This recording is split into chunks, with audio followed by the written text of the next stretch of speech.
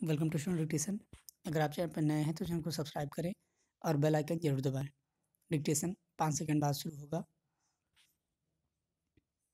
Ready start रूस की चर्चा आमतौर पर वैश्विक कूटनीति के संदर्भ में ही होती है।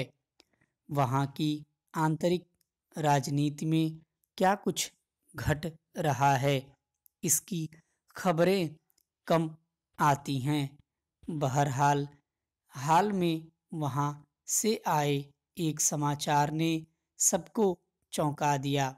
समाचार यह है कि रूस के राष्ट्रपति व्लादिमीर पुतिन के देश में व्यापक संवैधानिक सुधारों का प्रस्ताव रखने के बाद प्रधानमंत्री दिमित्री मेदव वेदेव और उनकी पूरी कैबिनेट ने इस्तीफा दे दिया है। मेदवे देव ने कहा कि राष्ट्रपति पुतिन के इन प्रस्तावों से देश के सत्ता ढांचे और शक्ति संतुलन में काफ़ी अहम बदलाव आएँगे। पुतिन ने जो प्रस्ताव रखे हैं उन्हें लेकर देश भर में वोटिंग कराई जाएगी। इनके लागू होने की स्थिति में सत्ता की ताकत राष्ट्रपति से ज़्यादा संसद के पास होगी। ज़्यादातर विशेषज्ञ मान रहे हैं कि पुतिन ने यह कदम खुद को 2024 के बाद भी सत्ता के शीर्ष पर बनाए रखने के लिए उठाया है।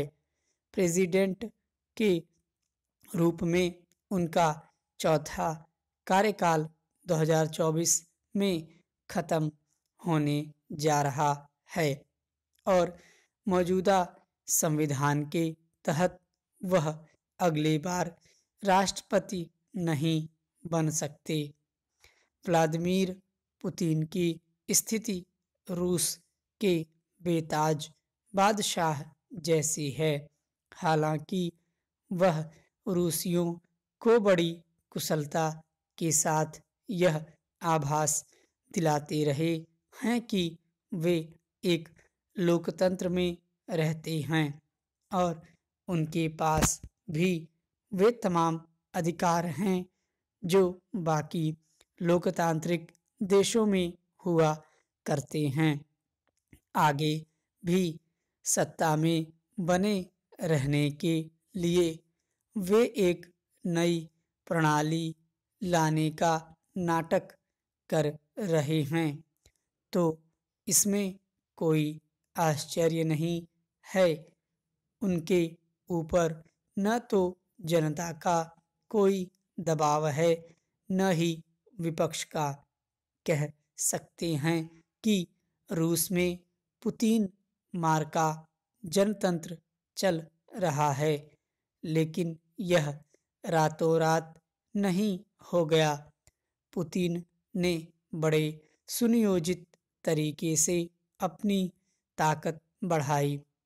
पूर्व राष्ट्रपति बोरिस यल्तसिन ने अस्वस्थ होने की वजह से 31 दिसंबर 1999 को, जब अचानक अपने इस्तीफे की घोषणा कर दी, तब पुतिन ने अंतरिम राष्ट्रपति के तौर पर सत्ता संभाली थी। फिर मार्च 2000 में जनता ने राष्ट्रपति के तौर पर उन्हें चुन लिया। सत्ता में आने के कुछ दिन बाद ही पुतिन ने मीडिया पर नियंत्रण कायम करना शुरू कर दिया। मीडिया मुगल कहलाने वाले गुसिनस्की के स्वतंत्र चैनल एनटीवी जैसे बड़े संस्थानों को विवश किया गया कि वे सारे कार्यक्रम सरकार के पक्ष में ही दिखाएँ। पुतिन की पॉपुलैरिटी रेटिंग को बढ़ा चढ़ाकर दिखाएँ और उनके विरोधियों पर उंगली उठाएँ। उसके बाद पुतिन ने उन कुलीनों को निशाना बनाया, जो रूस की राजनीति में खासा दखल रखते थे। उनमें से कुछ को जेल में डाल दिया गया और कुछ देश छोड़ने को मजबूर हो गए। पुतिन ने राष्ट्रवाद, सेना और धर्म को बढ़ावा देते हुए महान रूस की छवि बनाने की कोशिश की। साथ ही प्रॉक्सी अपोजिशन भी खड़ा किया।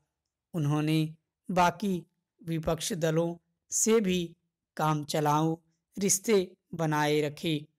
देखें इस नए दांव से वह अपनी सत्ता को कितना आगे ले जाते हैं।